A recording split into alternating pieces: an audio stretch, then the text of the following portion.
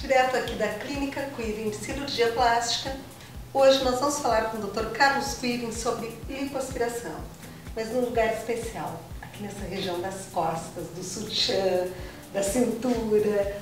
Como, uh, uh, quais são os benefícios que a gente pode ter, Dr. Carlos? É uma queixa muito comum das mulheres, principalmente as que já passaram dos 40, hum. que já tiveram filhos. De, no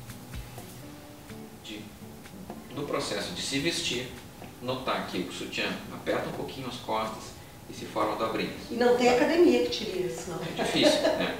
Porque assim, é, é uma região que muitas vezes é mais difícil de perder gordura naquele local. Claro. Não tem uma musculatura que a mulher consiga fazer aumentar o volume de uma maneira mais intensa, como é na coxa, por exemplo.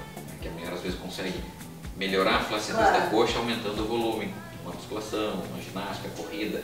Então, assim, as costas não, não têm esse grau de, uh, de reação hum. à malhação.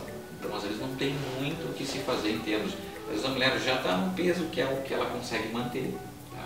E mesmo assim, ainda tem aquelas gordurinhas com um pouquinho de flacidez. Porque a gente vê até, costuma ver na praia, mulheres magras, mas com aquela gordura. É.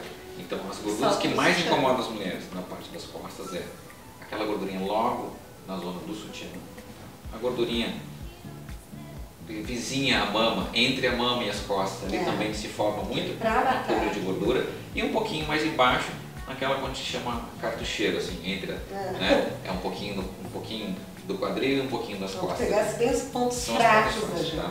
Então assim, ó, aquela paciente que conseguiu chegar num peso razoável, tá. que já fez tudo que tinha para fazer, uma das soluções é aspirar a região das costas.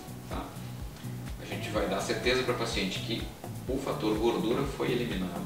Tá?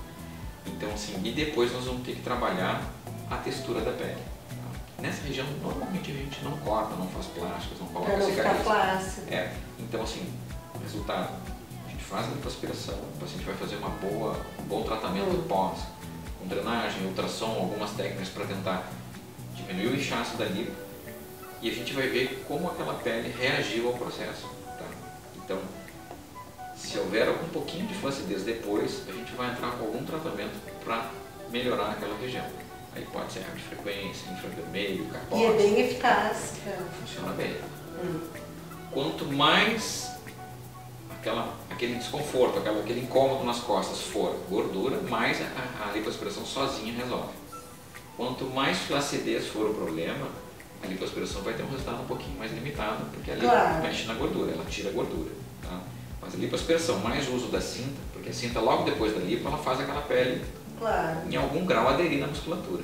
Tá? Quanto mais houver esse processo de aderência, de retração da pele, o resultado vai ser melhor. Tá? Então, assim, e daí eu acho que também depende muito de paciente para paciente, não é? O paciente que consegue manter o peso claro. vai ter um resultado mais duradouro também. Tá? Daí os cuidados que tem que ter para manter é manter o peso. Manter o peso, e a gente vai acompanhar como aquela pele vai hum. se retrair e vai aderir na musculatura das costas. Então isso que vai definir se a gente vai precisar fazer mais alguma coisa ou não. Perfeito. Hoje nós falamos sobre lipoaspiração nas costas, direto aqui da clínica Quirin Cirurgia Plástica. Mas semana que vem a gente volta com mais novidades de beleza aqui com o Dr. Carlos Quirin.